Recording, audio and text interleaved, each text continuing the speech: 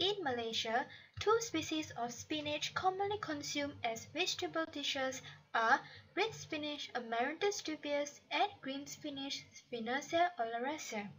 Spinach is known to contain high nutritional value and content such as vitamin A, vitamin B6, vitamin C, chlorophyll, as well as multiple secondary metabolites such as alkaloid, flavonoid, and many more. It is commonly used as a herbal remedy to cure gastric problem, indigestion, anemia, to aid in weight loss, improve kidney function, and boost bone strength. Dietary fiber that is present is able to prevent and treat various gastrointestinal disorders such as constipation, obesity, coronary heart disease, colorectal cancer, and diabetes. Crackers are baked products that have characteristics of crispy, open texture, less sweet, savory, and it is a popular snack for all walks of life. In recent years, demand for food that is rich in dietary fiber has increased which led to development of many fiber-rich products and ingredients. Therefore, this study was conducted to determine the right formulation to incorporate green and red spinach powder into bakery products.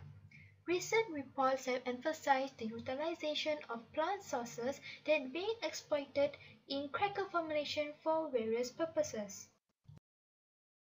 Moving on to methodology for plant materials, 500 gram of green and red spinach that were purchased from the local market in Jeli Kelantan were washed under a running water to remove dirt and soil while the roots of the vegetables were removed. The vegetables were then cut into smaller pieces before being dried in the oven at 60 degrees Celsius for 24 hours.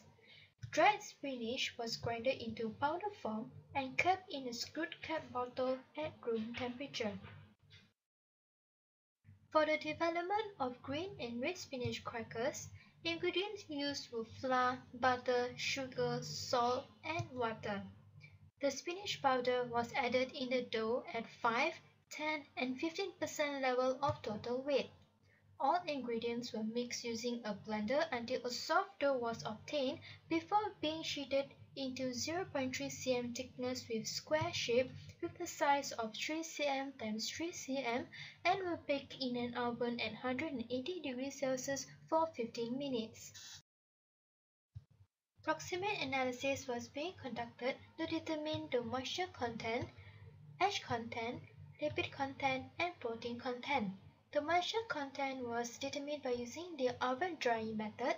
Ash content was determined using the muffle furnace at 600 degrees Celsius until whitish ash was obtained. Lipid was extracted using the petroleum ether and the content was determined using the Soxtec system, while the protein content was determined by using Kjeldahl method. Sensory evaluation was carried out by using 7 skill hedonic with 40 undergraduate students from University Malaysia Kelantan Jeli campus. The students rated the crackers based on attributes such as color, flavor, taste, crispiness, hardness, and overall acceptance based on likeness. Now let's proceed to results and discussion.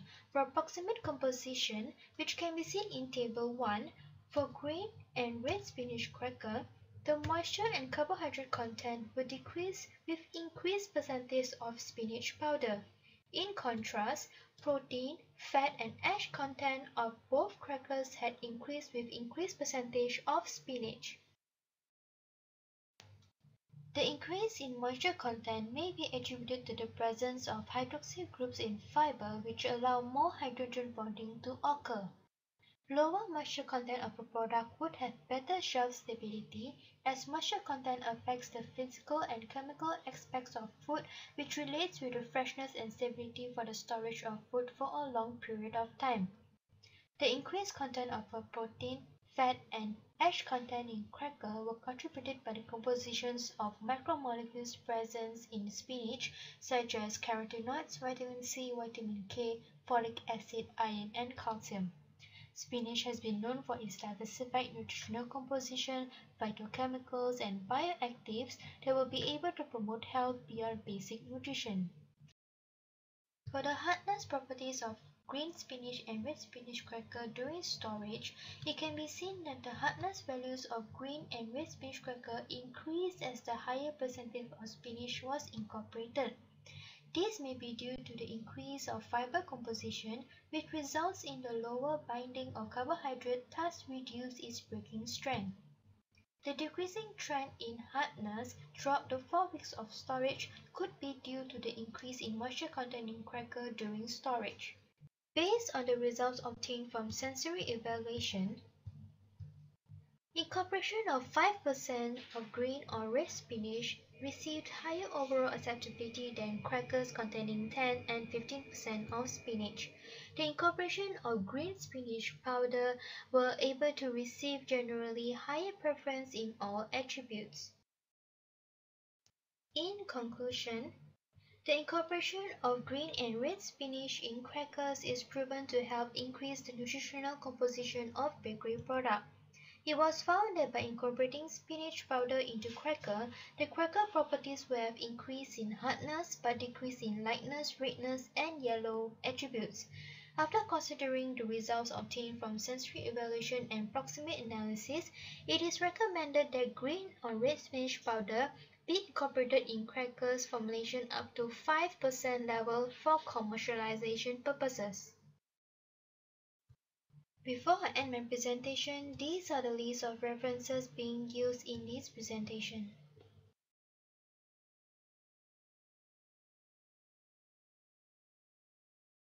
That is all for my presentation. I hope this study will be beneficial for all parties who wish to develop new food products by using fresh vegetables such as spinach, be it green or red spinach. Thank you.